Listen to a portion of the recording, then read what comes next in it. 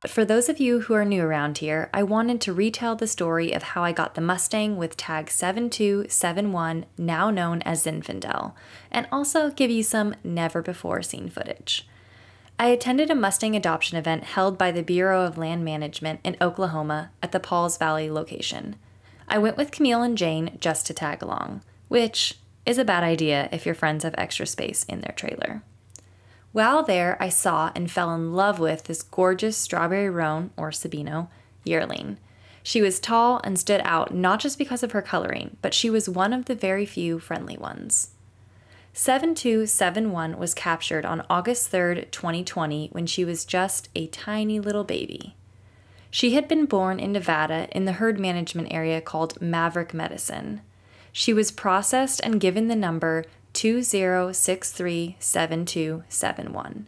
She was then offered on the internet adoption event and won by someone in Colorado.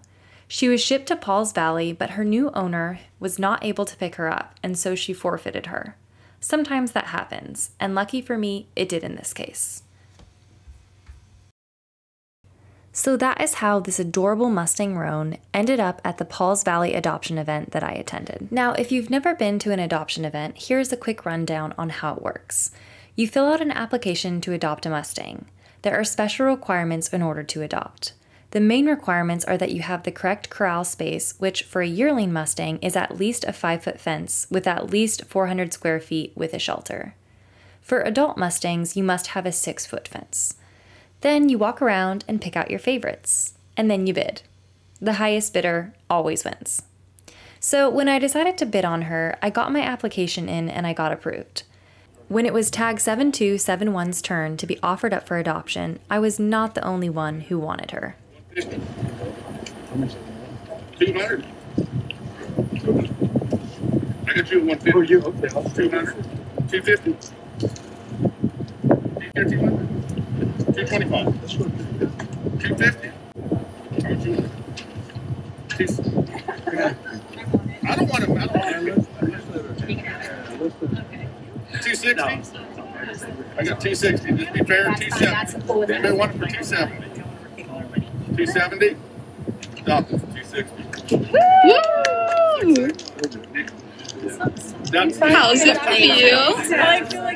It'll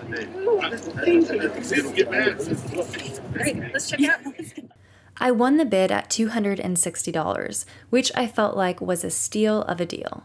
When the auction was over, it was time to load them into the trailer. This process is always nerve wracking.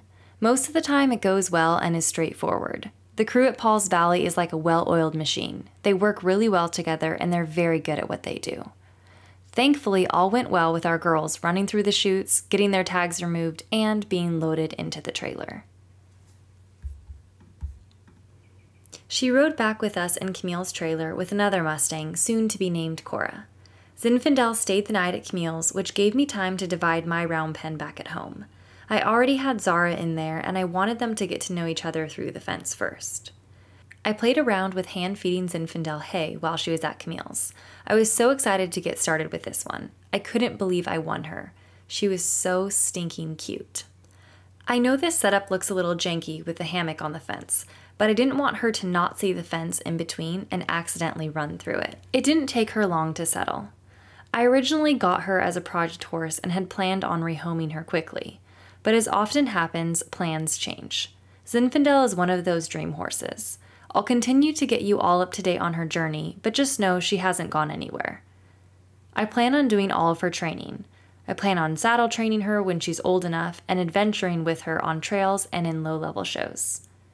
If you'd like to continue watching Zinfandel's journey, make sure you're subscribed. And if you want to sport an adorable graphic tee, head over to my website and pick up one of Mustang Zinfandel's new designs. As always, thanks for watching, and we'll see you in the next one.